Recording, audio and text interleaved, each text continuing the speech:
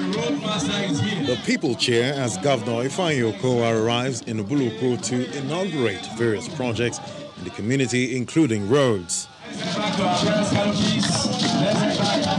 Accompanied by the minority leader in the House of Representatives, Ndudi Elumelu, traditional rulers and other government officials, he commissions the DBS Ishore Road, which was in a deplorable state before it was awarded for reconstruction.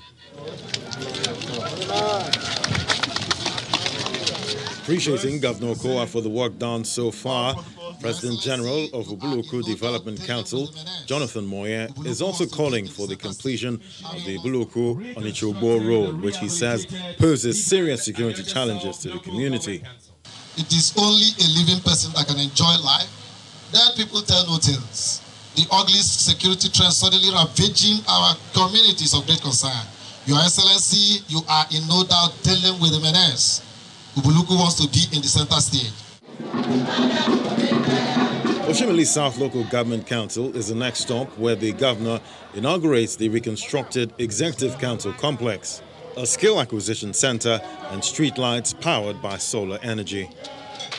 Outgoing chairman of the council is proud to have some of these projects in place, but notes that these are only a fraction of the people's needs.